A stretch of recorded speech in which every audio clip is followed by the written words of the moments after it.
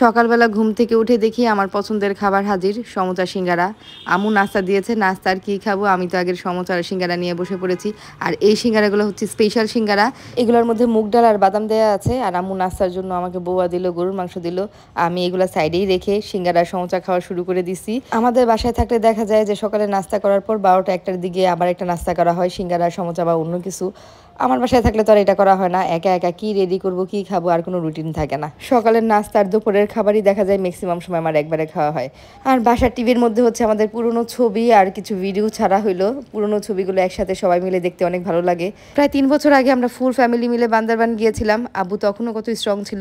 বান্দরবানের কোনো পাহাড় আব্বু বাদ দেয় নাই উঠা আর আব্বুরে বললাম যে, আবার কবে সুস্থ হবা? তোমার নিয়ে আবার ঘুরে আসব। আব্বু বলতেছে হ্যাঁ এবার সিলেট যাব সবাই মিলে। আব্বু তাড়াতাড়ি সুস্থ হয়ে গেলে ইনশাল্লাহ সবাই মিলে আমরা সিলেট যাব। প্রিয়, গতদিন আমার ডেস্কের ভিতর থেকে হারমোনিয়াম আর তবলা বের করে নিয়ে আসছে, এগুলো আমার ছোটোবেলার স্মৃতি। এখন এগুলো এরা দুই ভাই বোন দখল করে নিছে।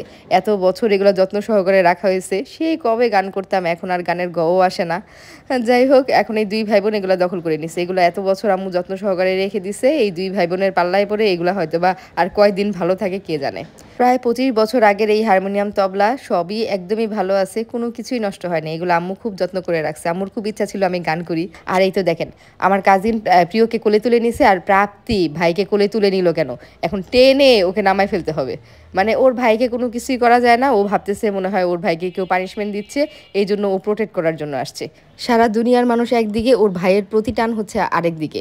আমার তো আমাদের বাসায় গিয়ে কয়েকদিন যে একসাথে থাকা হয় তা তো আর হয় না। দেখা যায় দিন গিয়ে দিনেই চলে আসতেছি, অথবা ম্যাক্সিমাম এক রাত কি দুই রাত থাকা হয়। কিন্তু এর মাঝেও ও আলাদা করতে পারে এটা ওর ভাই। বাসায় তো রেগুলারই আমাদের সব মানুষজন আসে কাজিনরা আসে, কিন্তু এর মাঝখান থেকে ওর ভাই যে আলাদা এটাও আলাদা করতে পারে।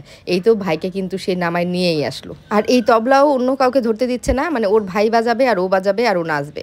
আম্মু সন্ধ্যার নাস্তা বানিয়েছে, চাপটি পিঠা আর শুটকির ভর্তা। এটা আমাদের বাসার খুব কমন আর সবার খুব পছন্দের একটা নাস্তা।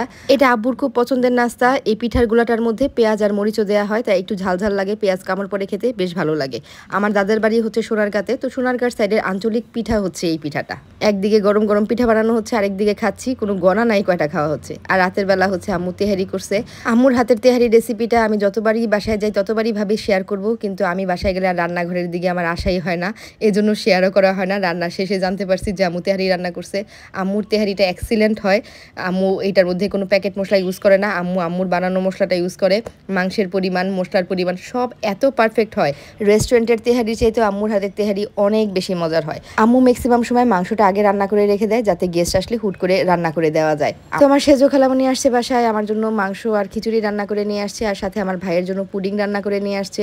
আমার ভাইয়ের সেদিন টনসল অপারেশন হয়েছিল, তো বলছিল যে পুডিং করে রাখলে টনসেল অপারেশনের পরে সে খেতে পারবে। যেহেতু পুডিংটা নরম নরম আইটেমগুলো খাওয়া যাবে। আমি আগের দিন পুডিং করেছিলাম, সেই রেসিপিটা তো আপনাদের সাথে আগেই শেয়ার করেছি। এমন বড় সাইজের পুডিং করার পাশাপাশি বাচ্চাদের জন্য কিন্তু চায়ের কাপেও পুডিং করা যায় একটা ডিম দিয়ে। নেক্সট ডে আমি কখনো বানালে আপনাদের সাথে সেই রেসিপিটাও শেয়ার করব। অনেক সময় বাচ্চাদের জন্য বড় পুডিং বানালে নষ্ট হয়ে যায় এই জন্য অনেকে অল্প করে পুডিং বানাতে চান। তারা কিন্তু চায়ের কাপে সেটা বানায় নিতে পারবেন। আর এই তো এদের দুই ভাই বোনের আদর ভালোবাসা চলতেছে।